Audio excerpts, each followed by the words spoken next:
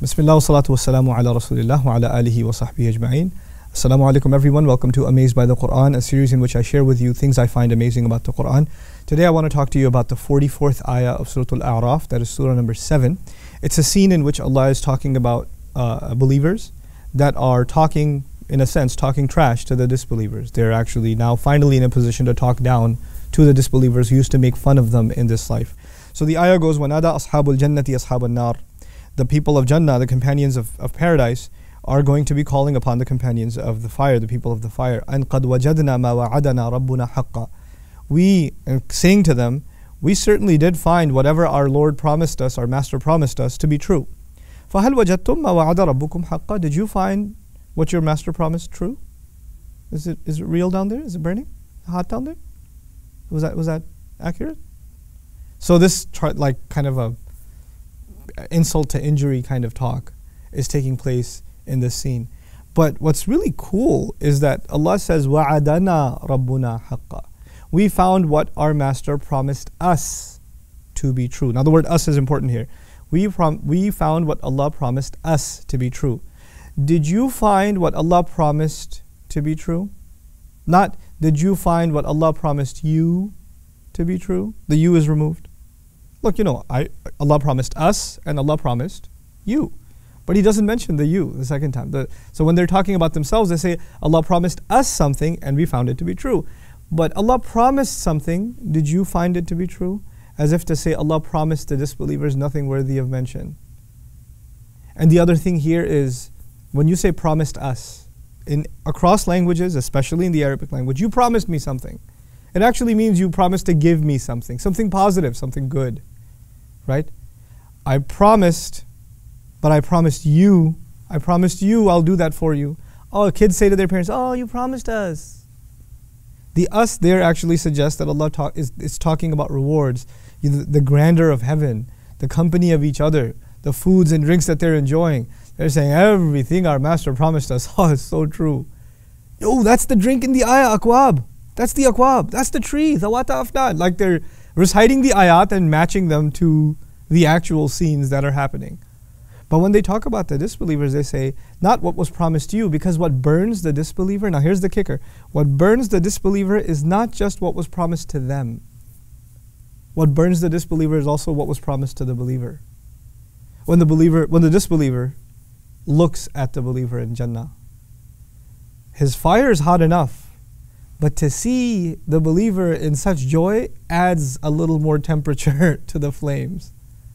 So they were just told, Did you find what your master promised to be true? Not just promised you, but promised overall. You, us, this entire reality. How does it feel when we're on top? It's this poke that's been done just by removing the words you, what he promised you, subhanAllah. May Allah Azza wa Jal make us of the people of Jannah.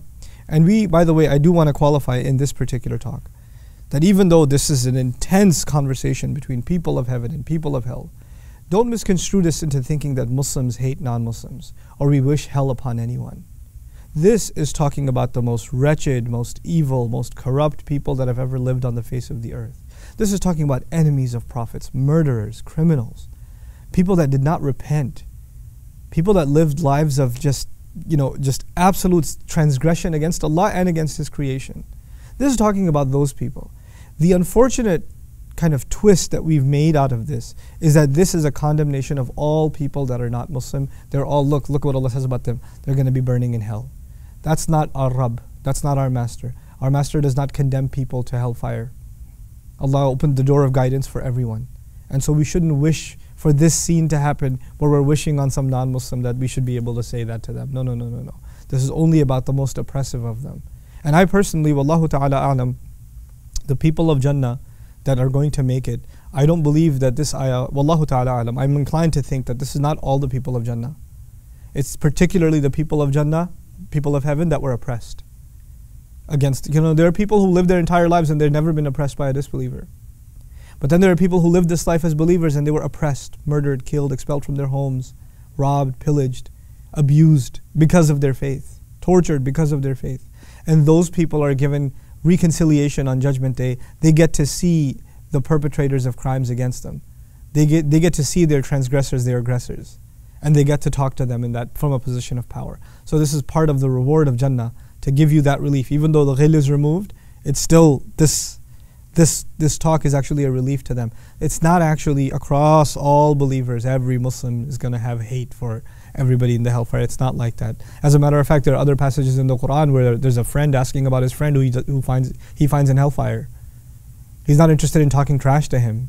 He's concerned about him. So don't take one ayah and draw everybody's going to be in this position. You see what I'm saying? This is the sophistication of the Quran and the subtlety of the Quran. And when it's overlooked, then we start drawing drastic conclusions that don't even represent the beauty of our faith. Barakallahu li wa lakum. Assalamu alaikum wa rahmatullahi wa barakatuh. Assalamu alaikum wa rahmatullah. If you enjoyed this video, please do share it with friends and family. If you want to see more videos from this series, click on the box at the top. If you want to see other videos, click on the box at the bottom. And don't forget to hit the subscribe button. Thanks.